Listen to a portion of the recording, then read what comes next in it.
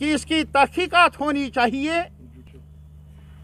Credible तहकीकात होनी चाहिए। यह नहीं कि मजिस्ट्रियल जिन्होंने किया, जिस इंतज़ामिया ने किया, वही अब मुनसिब भी बने, वो हमें मंजूर नहीं।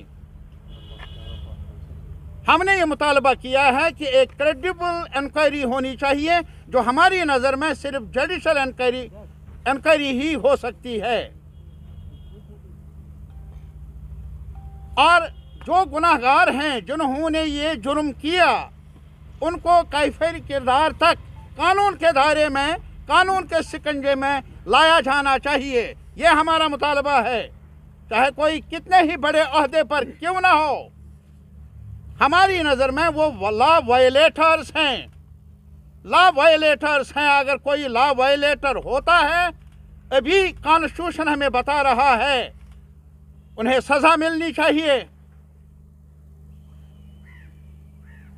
और दूसरी बात ये कि यहाँ और ज़्यादा अलमिया कई सालों से ये जारी है। कोई भी मरे, एनकाउंटर के नाम पर, मिलिटेंसी के नाम पर, उनके जो यहाँ के रहने वाले हैं, जो उनके अहबाब हैं, अकारिब है, रिश्तेदार हैं, उनको एक डिग्निफाइड ब्यूरियल से भी दूर रखा जाता है, जो कि एक लेजिटिमेट कॉन्स्टिट्यूशनल राइट है हर शहरी का। वो कोई एहसान नहीं, कोई तरफदारी नहीं, कोई फेवर नहीं। और इसके साथ ही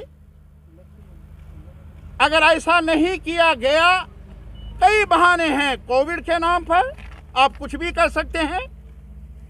लॉ एंड ऑर्डर के नाम पर आप किसी को जनाजा पढ़ने से भी बुरियल से भी रोक सकते हैं, ये हमें मंजूर नहीं। क्योंकि हमारा मानना है, ये कानून के दायरे से बाहर है आइन के दायरे से दायरे से बाहर है, और नेट, हमने ये फैसला किया।